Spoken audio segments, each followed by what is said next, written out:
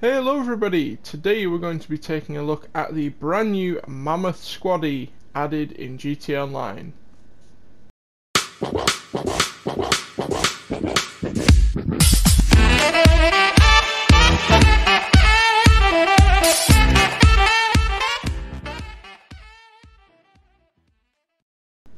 Hello everybody and welcome back to the Moldyworm Gaming channel. My name is Moldyworm4975 and today we're taking a look at the brand new Mammoth Squaddie. This was added yesterday actually on the 4th of February. I wasn't able to record it yesterday so I'm recording it today a day later so I apologise for that. Before we get into the video, if you are new to the channel, we are trying to reach a thousand subs so it'd be great if you could like, subscribe and comment. But yeah, let's get straight into this thing. Um, I've just purchased this vehicle. It does cost quite a bit, so let's have a look at the price of it on the store actually. It is on Warstock Cash and Carry and it costs $1.13 million uh, for effectively a modified version of the Patriot that we already have, which is the Hummer we already have in the game. So, is it worth the price? I don't know yet. It has a lot of great customization that we're going to check out in a second. And at the end of this video, I will do like a short review. Um, and I also want to compare it to the Vatia that we uh, tested last week, which, if you've missed that video, I will leave an eye in the top of your screen now, so you can go and watch that.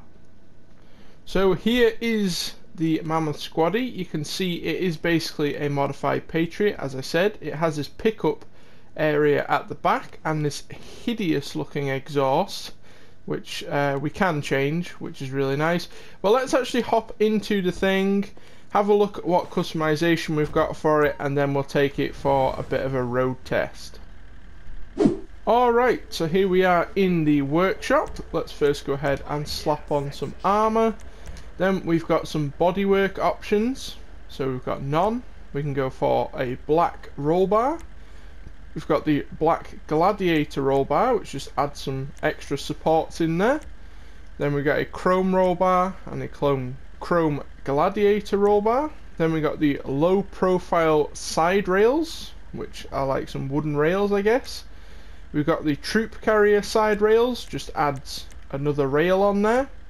Then we've got the side rails with canopy frame.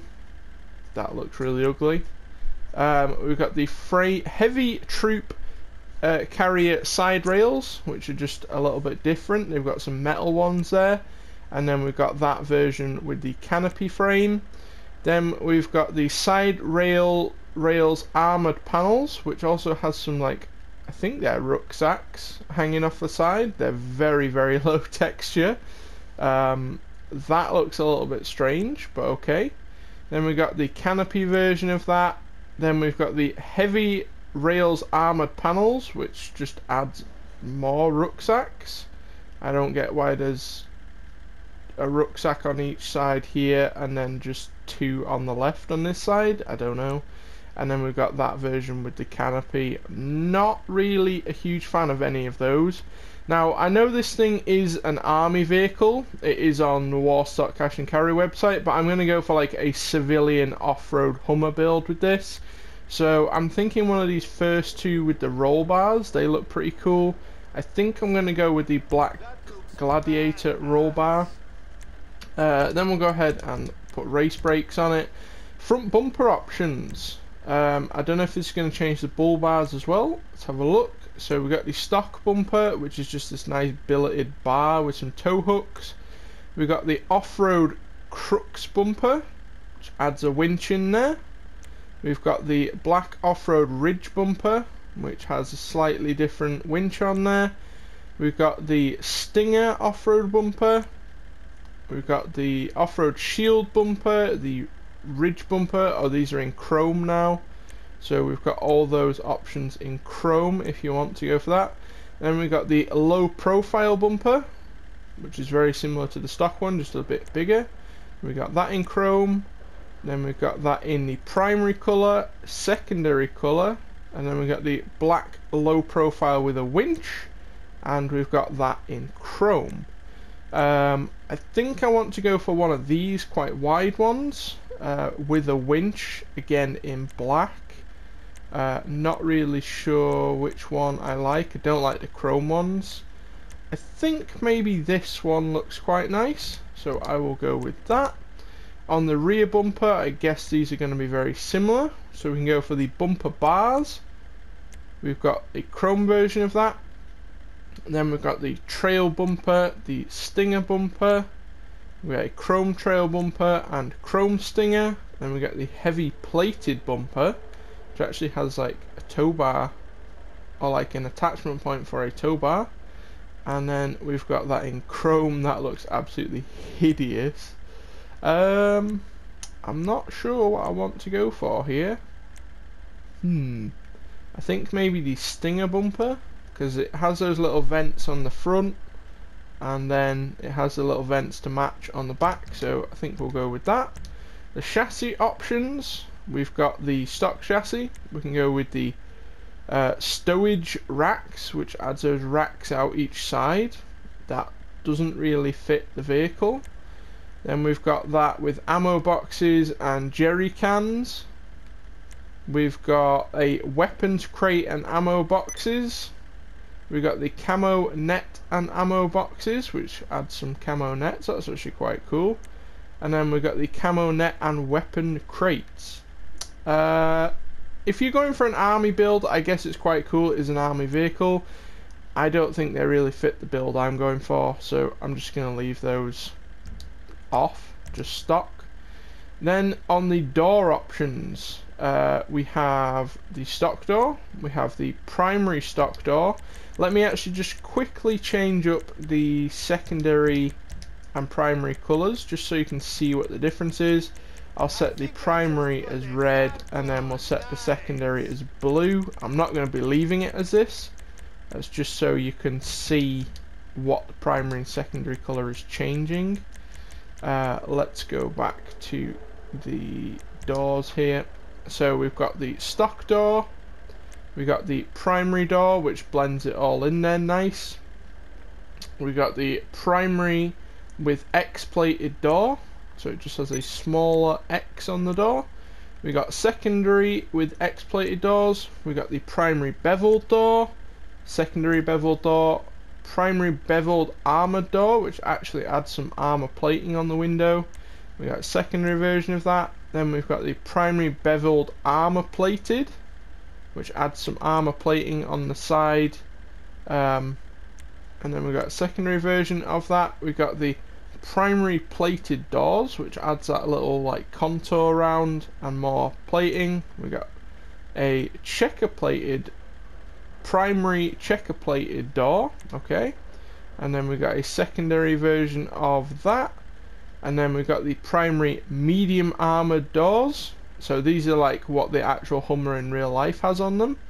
And then we got a secondary version of that. Then we got the primary armored doors which are just a little bit bigger and a secondary version of that um, since I'm keeping this like kind of a street vehicle uh, well, I'm building it as an off-road vehicle, but a civilian one. I think I might just go for the primary X plated. That looks okay. Engine, we'll go ahead and slap that on.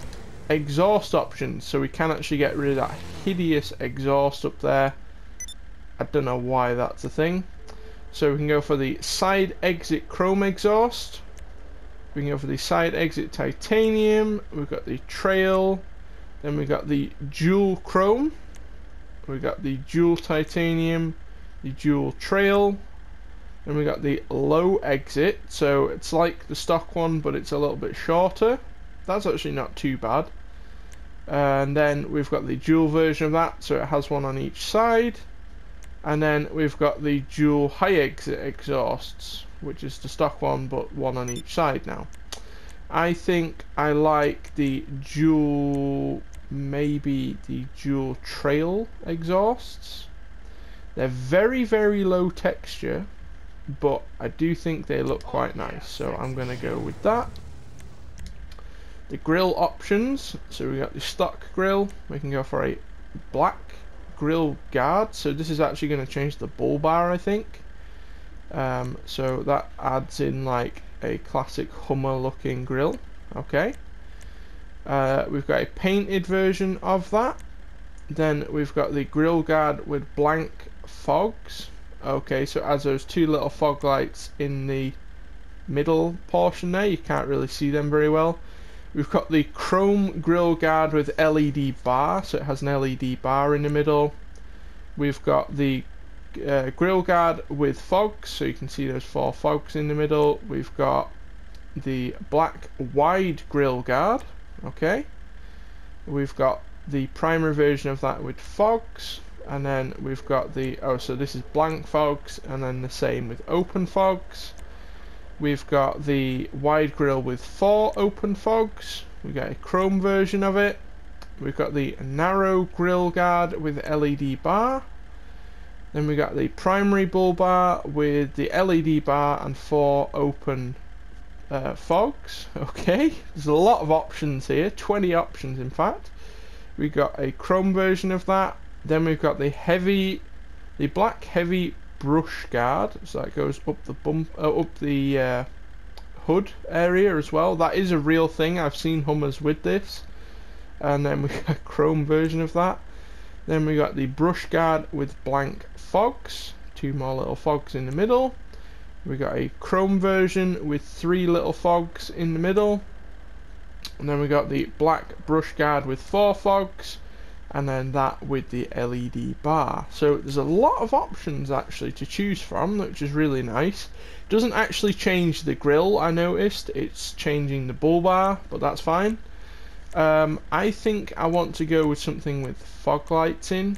Um, if you guys have watched my SnowRunner series, then you'll know I am a big fan of fog lights on vehicles. I don't know what it is, it just looks cool. Um, not too keen on these later ones. Uh, I think maybe just one of these first ones looks quite nice. I actually like just this one. Uh, let me have another look here. Maybe this one with the four lights in the front. That looks pretty cool. I'll go with that. Then we've got some hood options. I do like the stock hood. That looks really cool. But we can go for a primary with rucksack bag. That really restricts your view as well. So you can't actually see where you're going. That's a bit dumb. But if you're going for that army build, I guess it's quite cool. We can go for the full secondary hood if you want to. We've got the vented scoop hood, which has just one scoop in the middle you go for a secondary version of that. Then we've got the small modular vents, and we got that in secondary. Medium modular vents, and that in secondary. The triple module vents, and that in secondary. Then we got the primary plastic hood cover. Um, I guess that's quite cool. Kind of protects your hood if you're off-roading.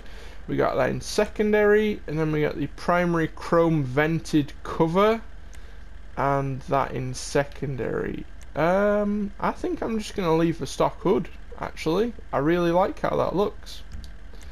Um, we can go for a horn option. I think we'll go ahead and put a truck horn on this, since it is kind of a big truck.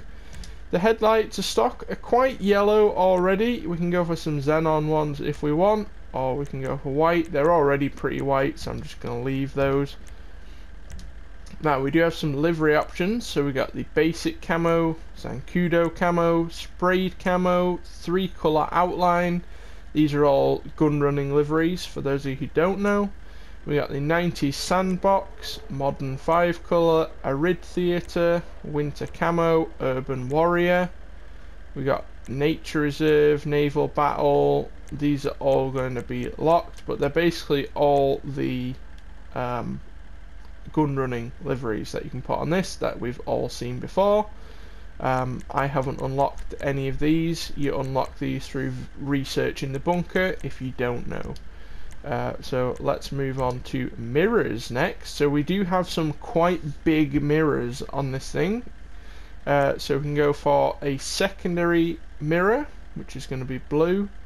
We can go for the black modern mirrors. They look hideous. That no, no, no. That does not suit this vehicle. Um, we can go for those in secondary. Then we got the long stem mirrors. they're a bit better. Um, they're kind of like the stock ones, just a bit smaller, so they actually fit a bit nicer. We can go for those in secondary.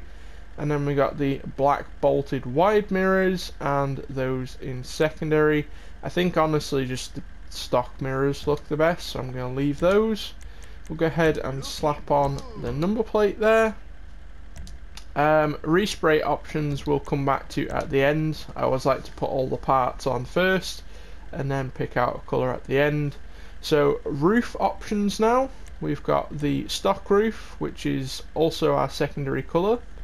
We've got a roof rack, which adds some uh, little fogs on there as well, some square fog lights. We've got a chrome version of that. We've got the cargo roof rack, which just adds a few bars on there and we got that in chrome. Then we've got the roof basket with fog lights. Uh, so that's the same fog lights that we have on the front.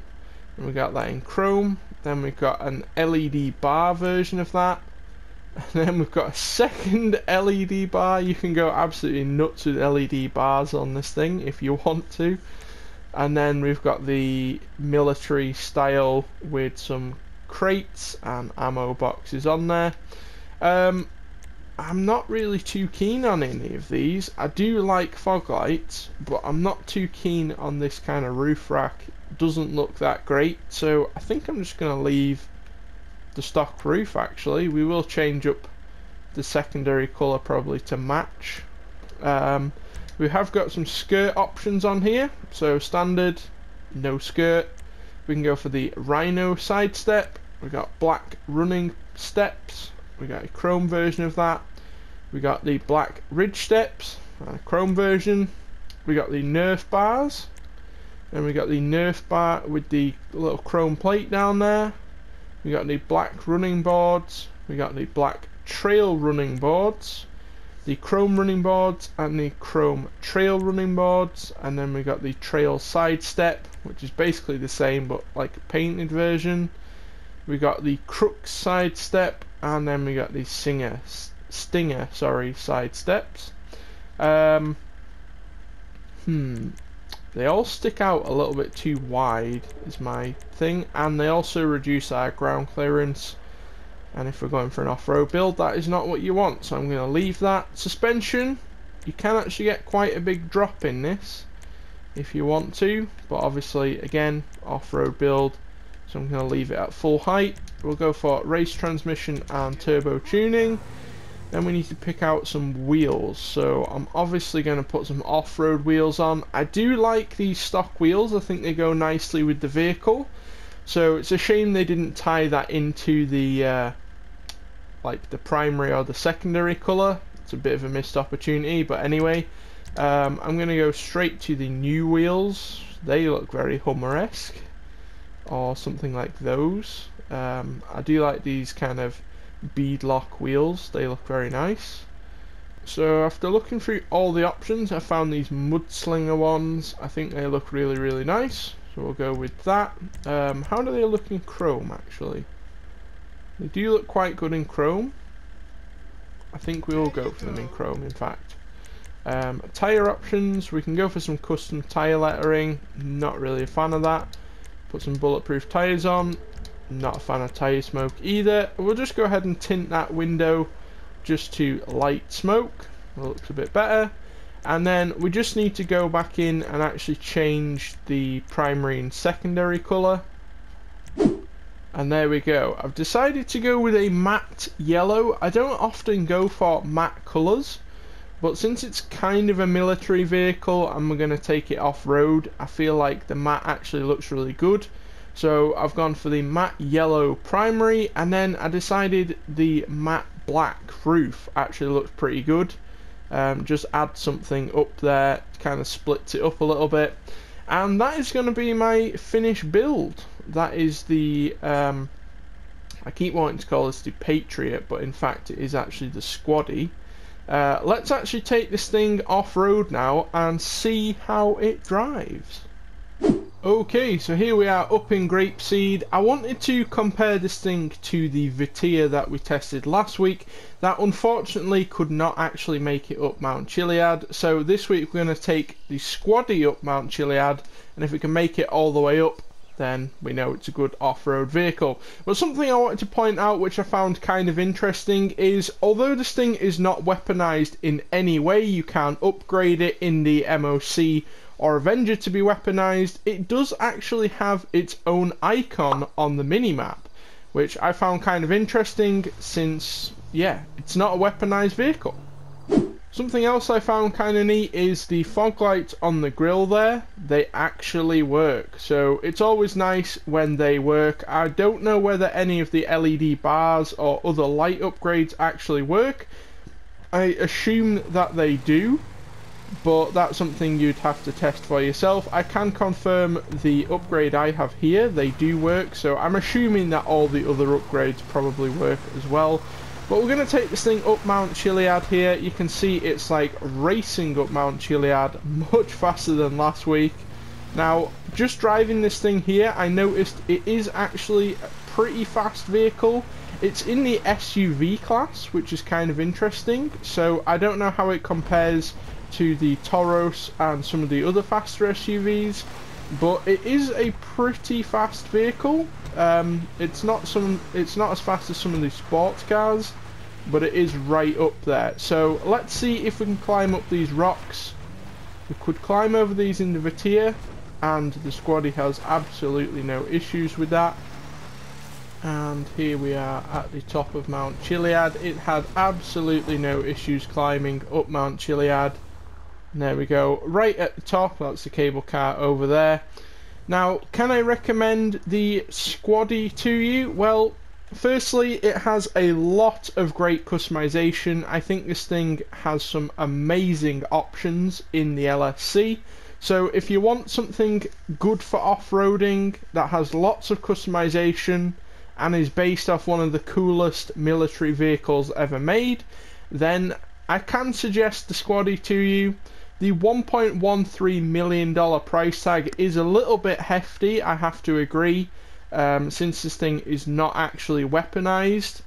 Uh, so if you are short on funds, maybe wait for this thing to go on discount. But if you've got plenty of money, then maybe consider buying this thing, especially if you have an off-road car collection like myself it is a great addition to your garage. But that's going to do it for today's video. I hope you enjoyed taking a look at the brand new Mammoth Squaddie in GT Online.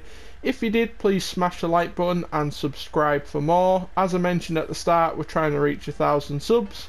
So if you want to help us out with that, it'd be greatly appreciated.